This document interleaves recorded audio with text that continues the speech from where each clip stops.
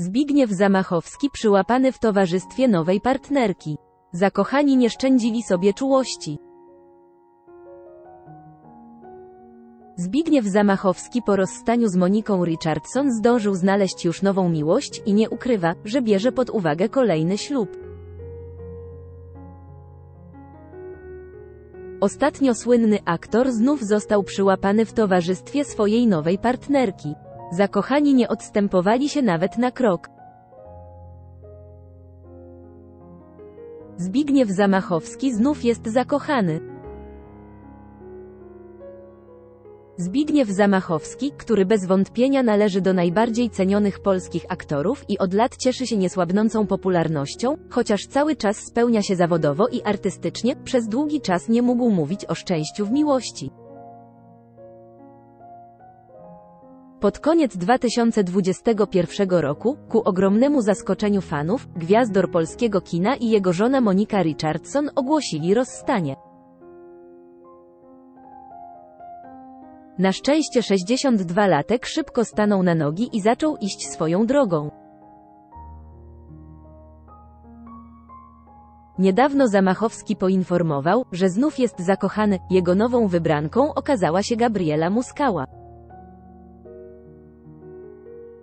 Choć na początku w środowisku polskiego show biznesu mówiono, że artyści nie stworzą stabilnej relacji, okazuje się, że Zbigniew Zamachowski planuje po raz czwarty stanąć na ślubnym kobiercu.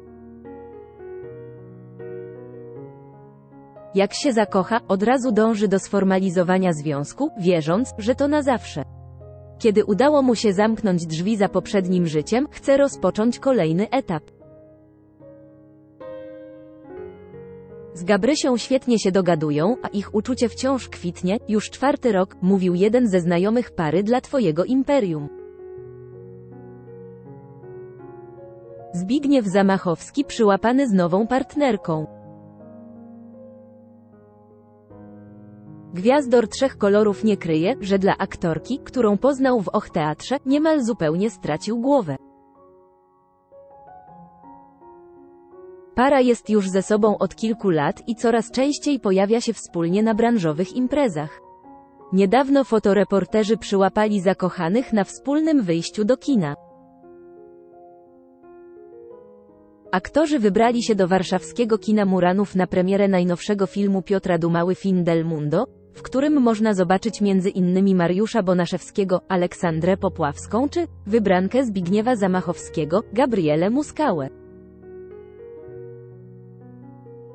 Jak widać na zdjęciach, oboje czują się w swoim towarzystwie znakomicie i, i nie szczędzą sobie czułych gestów, a 62-latek przez cały czas nie opuścił swojej wybranki nawet na krok.